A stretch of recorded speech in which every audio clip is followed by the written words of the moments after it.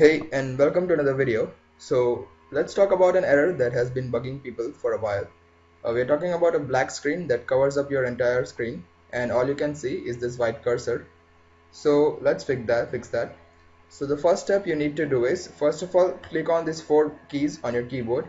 Click on the Windows key, then Control, then Shift and B.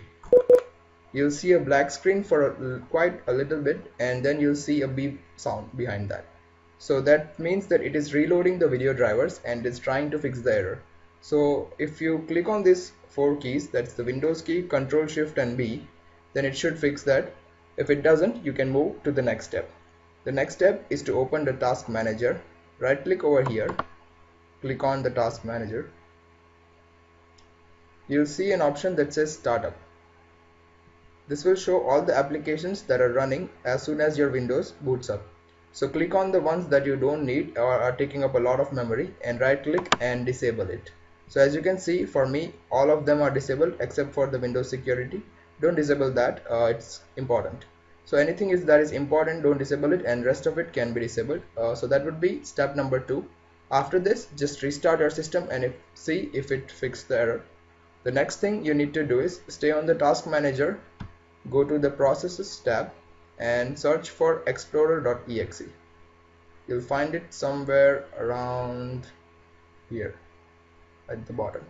So click on it right click it and you'll see an option that says restart. Click on restart. You'll see a black screen as you can see right now and everything will reload. So this will help you fix the error faster. So this will be the step number three.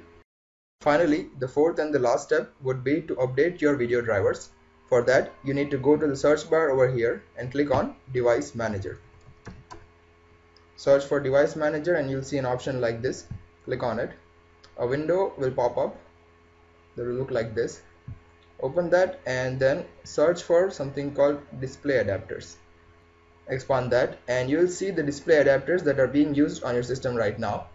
So click on any one of those or both of those and then right click and click on update driver search automatically for updated driver. This will search the internet for the latest updates and update your drivers.